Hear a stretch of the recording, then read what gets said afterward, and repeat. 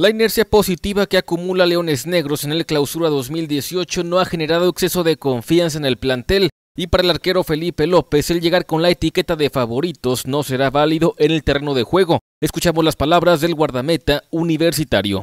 yo creo que en esta, en esta división no hay, no hay favorito, ¿no? al final de cuentas, en el papel sí por las tres victorias que tenemos, pero yo creo que en esta división no hay, no hay equipo no hay equipo favorito, cada partido es diferente y tenemos que y cada rival es diferente, ¿no? Para este partido, los dirigidos por Jorge el Vikingo Dávalos tendrán disponibles a Valadez, quien ya tuvo minutos el pasado fin de semana, así como a Jorge Mora, quien hizo el viaje a Tampico, lo que será una decisión difícil para el entrenador, asegura Felipe López. Se incorpora a Valadez, se incorpora a Mora, dos grandes jugadores, pero sí, digo, al final de cuentas es una posición difícil, el entrenador tiene que elegir a los mejores 11 que él cree y al final de cuentas, yo creo que todos tenemos la, capacidad para, para dar lo mejor de nosotros, ¿no?